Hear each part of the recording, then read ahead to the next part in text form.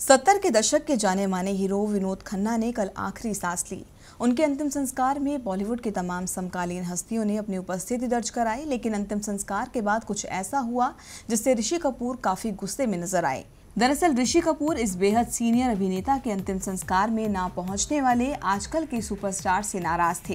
Actor Vinod Khanna की गुरुवार को मुंबई के अस्पताल में कैंसर से मौत हो गई। ऐसे में उनके जमाने के कई स्टार जैसे हेमा मालिनी, ऋषि कपूर, रजनीकांत और शत्रुघ्न सिन्हा जैसे सितारों ने उनके निधन पर सोशल मीडिया पर दुख जताया था।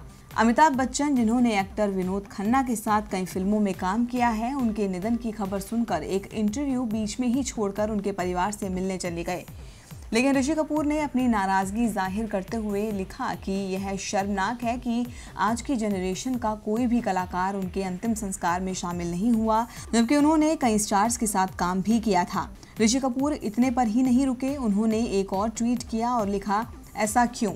मुझे तैयार रहना चाहिए कि जब मैं मरूँगा तो कोई मुझे कंधा नहीं देगा। आज के इन सितारों के इस बर्ताव से मैं बेहद गुस्से में हूँ।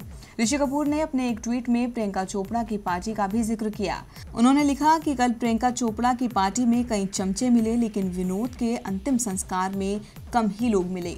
ऐसे में ऋषि कपूर ने यह भी बताया कि उनके बेटे रणबीर कपूर और उनकी पत्नी नीतू सिंह देश में नहीं है, इसलिए वह यहाँ नहीं पहुँच सके हैं। तो ऋषि कपूर आजकल के कलाकारों से बेहद नाराज़ हैं। उन्होंने नए कलाकारों के अंतिम संस्कार में नहीं पहुँचने पर जमकर नाराज़गी ज़ाहिर की।